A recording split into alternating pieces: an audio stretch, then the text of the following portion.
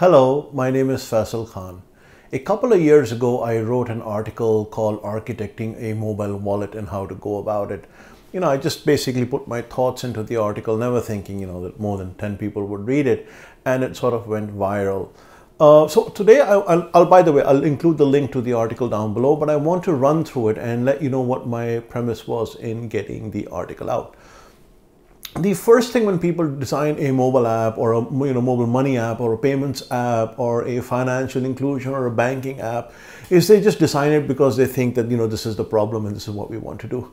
I think the first thing you really have to know is you know what sort of an area and vertical are you going to be operating in. I'll be putting many items and sort of a pictures throughout the screen as i talk about this video. For example the, the image you will see right now is basically you know the various uh, value added services that are in the payments vertical with the lowest being the P2P market and you know you can go up high school fees, tuition, loans, etc.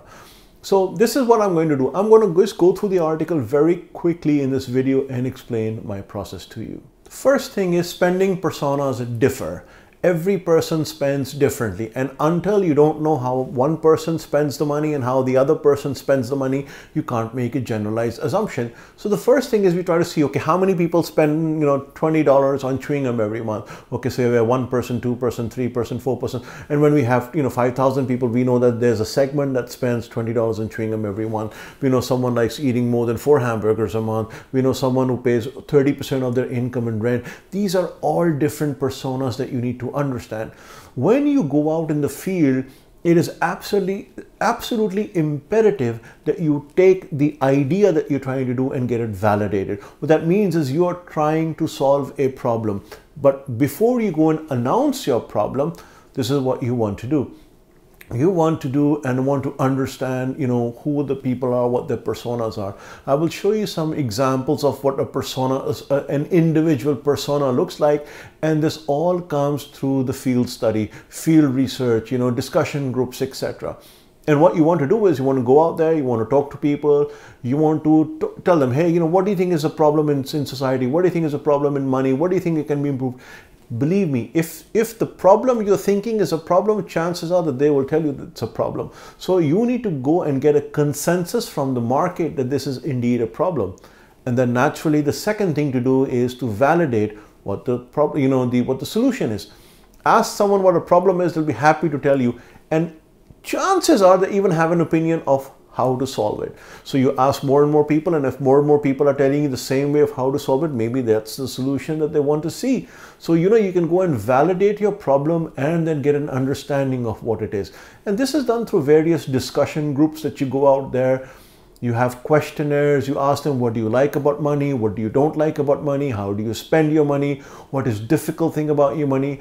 How you know why would you open a banking app? Why would you not open a banking app? How often do you open a banking app? What do you like about your mobile wallet? What do you don't like about your mobile wallet?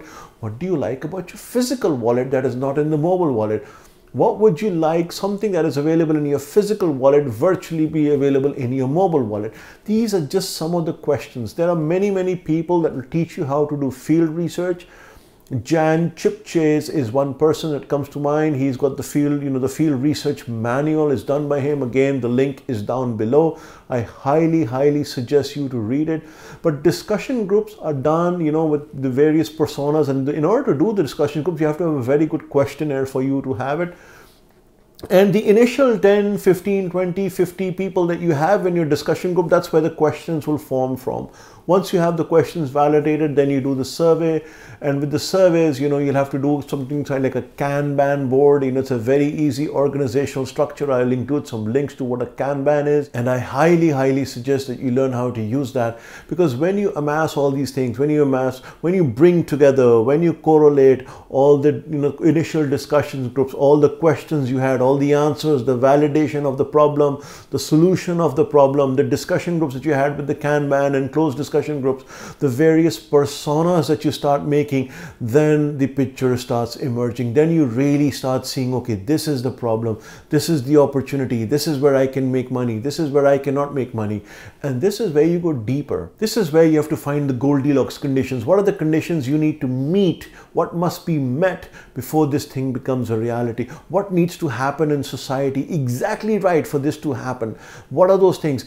Chances are that more of these questions you will never understand. The, some of the conditions that need to be met, you will never uh, have the answer to.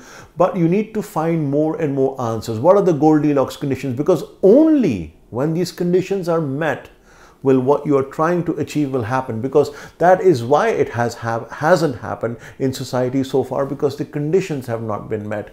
And this is very important for you to understand. With this understanding you will have personas your buyer's persona your customer's persona your seller's persona your interactive you know personas of the people you will actually do business with.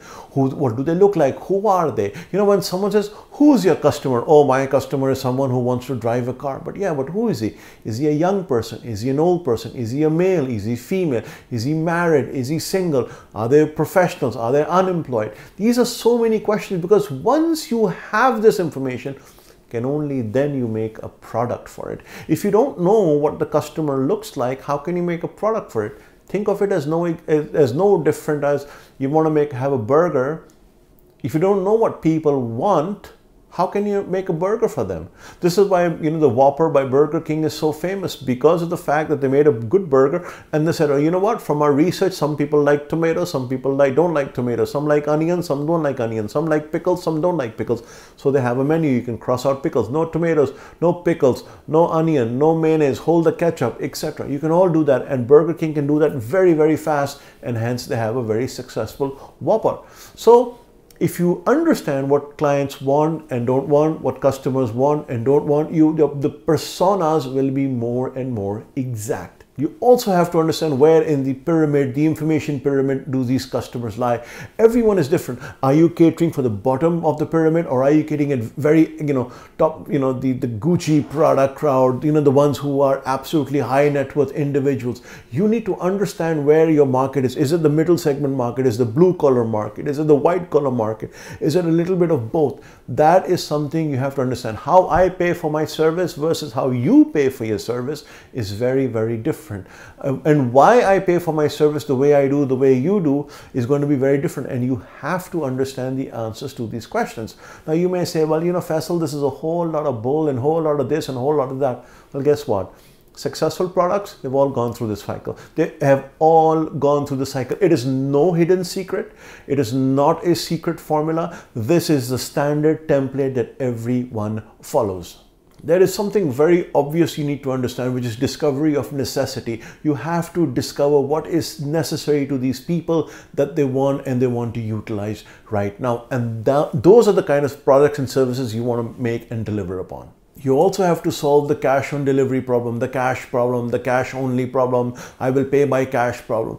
And that again will come through the discussion forums that you have, through the discussion groups that you have, by incentivizing. You can you can think of ways, ask people what would it make take you or make you use cash? In covid-19 times i think the answer is very simple. They don't trust banknotes they think they might have the germs on it or the viruses on it and so forth. And this is why we will go more digital and digital. It took a pandemic for us to look at this turn. But you know people have short memories. Maybe they come back and go back to cash so you have to incentivize. You have to give them a proper reason. And you have to do so by thinking along and, and being in their shoes not your shoes. This is extremely important for you. Also, you have to understand that not everything is going to be digital. Sometimes it's going to be a hybrid. It's going to be an offline and an online model. Sometimes it's going to be 20% offline and 80% off online. Sometimes it's going to be the, the reverse, where you only have 20% online and 80% is offline. But, and then you have to transition through one way or the other. Either you will go all, all digital or all, you know, partially digital and 50% digital, etc. But you have to take the analog component into mind. You can't operate without the analog. This is a mistake that many, many wallet providers and you know financial app providers do. They think, oh, it's, it's just going to be an online world and a digital world. Yes, it's going to be a digital world. It's going to be a digital world, but there are analog factors that must be taken into consideration All this then comes down into a lean canvas. I will include the lean canvas example below. You put it into a one pager and that one pager tells you, okay, what is your problem you're trying to solve? What is the opportunity? Where's the money? Who's the competition? What are the strengths, weaknesses, opportunity, threats? Where can I make money? Where can I have a real big advantage? How fast I can go to market? The lean canvas template. And this is how you architect a mobile wallet or a financial application or a financial app, whatever, in nomenclature notwithstanding here. You have to build stickiness. You have to look at how people can keep, you know, keep engaging with your app, but then take it from their feedback as to how they would engage. Don't assume yourself. You are not the customer. You have to open up your APIs, open up your APIs for the developing world out there, open up the APIs for the developers out there, open the APIs so that it's a more open platform so that people, people can innovate on it based on your baseline product offering build it and they will come so maybe in some cases you have to go out and sign up you know 10,000 agents or 10,000 merchants or 20,000 merchants or go into remote cities or you have to do this you have to look at your Pareto values who are the 20% of the businesses businesses that generate 80% of the income, those must be signed up. You have to look at which are the cities that generate most income. You have to go there, the towns and the cities that are generating the most income. And only then you can go into the little pockets of, you know, of your community, etc., which were not being covered before, or the merchants that were not being covered before. But you have to build it before they come. No one is going to take an app and say, oh, you know what, these guys are going to sign up 10,000 merchants over the next year. No, they want to have the app and you know what they want to know? Oh, 10,000 merchants are already signed up. That is how it works. I don't believe it's going to be the end of the cash, but it will be in greatly to your advantage to go digital today. And this is not just for a mobile app or financial app, for cross-border uh, payment systems, for domestic payment system, for hybrid payment systems, going digital is it. If you would like help in your journey in going digital, please feel free to reach out. There's a contact form in the description below. That's the only way to get in touch with me or the WhatsApp, uh, which again, I would still directly to the contact app, even if you contact me to the WhatsApp number below. If you have a general comment on this video, please feel free to comment below. I have opened my comments. And if you have a question or, or a suggestion, again, feel free to put it down there. I hope I was able to shed some light on this process of what it takes to architect a mobile wallet or a mobile app or a financial app, etc. As always, I'm very happy for you to watch my videos. If you like this video, you know, you can hit the like button, subscribe. I leave it up to you. I don't like pushing people to subscribe, but if you like it, please push subscribe. And anyways, till next time, this is Faisal Khan signing off.